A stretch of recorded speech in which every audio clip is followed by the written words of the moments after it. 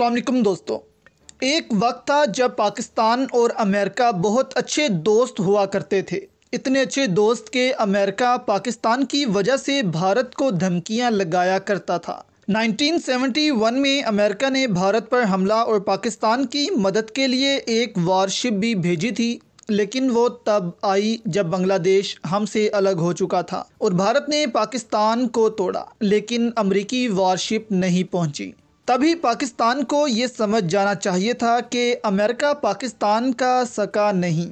वो सिर्फ़ अपना सुपर पावर स्टेटस बरकरार रखना चाहता है और किसी ऐसी ताकत को आगे नहीं आने देना चाहता जो अमेरिका को आँखें दिखाए। कल भी हमने एक वीडियो सामने रखी थी, जिसमें अमरीकी चीफ की जानब से बताया गया था कि कैसे वो पाकिस्तान, ईरान, इराक को तबाह करना चाहते थे, ताकि ये ममालिक चीन के लिए कॉरिडोर ना बना सकें। इराक के पास तेल था, इराक से तेल ईरान, फिर पाकिस्तान के रास्ते, सीधा चीन जा सकता था, लेकिन अमेरिका को ये मंजूर नहीं था कि चीन इस दुनिया की सुपर पावर बने। इसलिए अमेरिका ने इन तीन ममालिक को तबाह करने की कोशिश की। जिन लोगों ने ये वीडियो नहीं देखी वो ये वीडियो देखें फिर आपको बताएँगे कि अमेरिका के निशाने पर अब पाकिस्तान का न्यूक्लियर प्रोग्राम क्यों आ गया है President Obama's speech, and you said, you know, that Pakistan is the new target. However, he's saying that Pakistan and the United States have to have this important partnership. Um, what's going on there then? The goal, once again, is to destroy Pakistan as an energy corridor between Iraq, Iran, other countries in the Middle East that produce oil,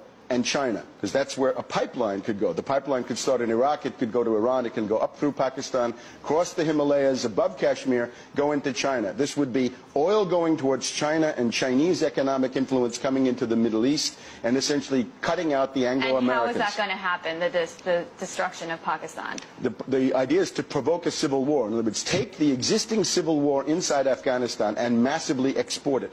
The U.S. would uh, possibly consider a direct attack on Pakistan, but they can't because Pakistan is too big and it has nuclear weapons. So there's nuclear deterrence. The only way to do it is to take the Pashtun population in Afghanistan and Pakistan, rile them up into uh, an independence movement, do the same thing with the people in Baluchistan, and with that you've, you've carved Afghanistan, you've broken Pakistan into four pieces or 3 mm -hmm. and you've even started to carve Iran because those Baluchis are a peripheral group of the Iranians. गुज्त रोज़ ये खबर सामने आई है कि America ने इन Chinese company पर पाबंदी आयद कर दी है जिन्होंने पाकिस्तान की मदद की है पाकिस्तान के मिज़ाइल प्रोग्राम को आगे लेकर जाने में जैसे कि कुछ पार्ट्स की फ्राहमी या कोई टेक्निकल मदद की है अब यहाँ पर अमेरिका ने ऐसा क्यों किया, आपको बताते हैं। अमेरिका ने चीन की सिर्फ़ एक कंपनी पर नहीं, बल्कि बहुत सी कंपनीज़ पर पाबंदी लगा दी है और इनको सज़ा दी है पाकिस्तान की मदद करने के लिए। इससे ये होगा कि ये कंपनीज़ अमेरिका ने ब्लैक लिस्ट की हैं। तो अमेरिका एक सुपर पावर है तो अब इन कंपनीज़ से यूरोप या फिर बाकी जैसे कि ऑस्ट्रेलिया, कनाडा भी काम नहीं करेंगे, वो भी इसको ब्लैक लिस्ट करेंगे। और अगर काम करना हुआ तो इन कंपनीज़ को अमरीकी लाइसेंस की ज़रूरत होगी, इन ममालिक से बिज़नेस करने के लिए। यही तो एक बदमाशी है सुपर पावर की। अब बात करते हैं, अमेरिका ने ऐसा क्यों किया है? अब यहाँ पर अमेरिका ने कहा है कि ये कंपनीज़ पाकिस्तान के अनसेफ गार्डेड न्यूक्लियर एक्टिविटीज़ और बैलिस्टिक मिसाइल प्रोग्राम में मदद कर रही हैं। इस वक्त दुनिया में पाकिस्तान के न्यूक्लियर प्रोग्राम की सेफ्टी को भारत से बेहतर समझा जाता है। हाल ही में पाकिस्तान ने शहीन ए वन का तजुर्बा किया है। इस तजुर्बे के बाद ही अमेरिका ने चाइनीज़ कंपनी पर यह पाबंदी लगा दी है। अब इस मिज़ाइल की बात की जाए तो ये मिज़ाइल पहले से बहुत बेहतर बनाया गया है। जदीद टेक्नोलॉजीज़ लगाई गई हैं। इसके अलावा अब टारगेट का इससे बचना नामुमकिन हो गया है। इसके बाद पाकिस्तान ने शाहीन टू और थ्री को भी अपग्रेड और इससे ज़्यादा बेहतर बनाना है, जिससे अमेरिका, भारत परेशान है। सबसे बढ़कर पाकिस्तान अब तैमूर मिज़ाइल पर भी काम कर रहा है, जो कि पाकिस्तान का सबसे बड़ा मिज़ाइल होगा, यानी कि आईसीबीएम और ये मिज़ाइल दुनिया के हर कोने को निशाना बना सकेगा। अब इसी की तरफ़ पाकिस्तान जा रहा है, इसी से अब अमेरिका भी परेशान है। क्योंकि एक दफ़ा पाकिस्तान ने आईसीबीएम मिज़ाइल बना लिया। अमेरिका पाकिस्तान की रेंज में आ जाएगा। फिर बेशक पाकिस्तान अमेरिका को तो निशाना नहीं बनाएगा, लेकिन फिर भी अमेरिका को कुछ खौफ है।